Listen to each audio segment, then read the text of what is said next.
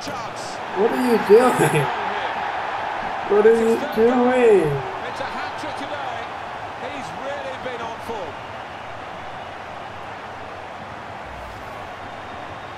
Well, no wonder he's wheeling away in a super What? celebration. To get a hat trick is a fantastic How- experience. uh, how does that happen? Okay, so. Ter Stegen's like a 98, too.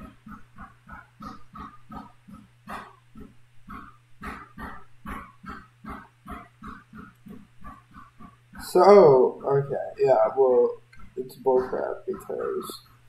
Okay, first of all, if you hit it like this, it should definitely go flying the other way, not like that. And as this goes up, wait, zoom out,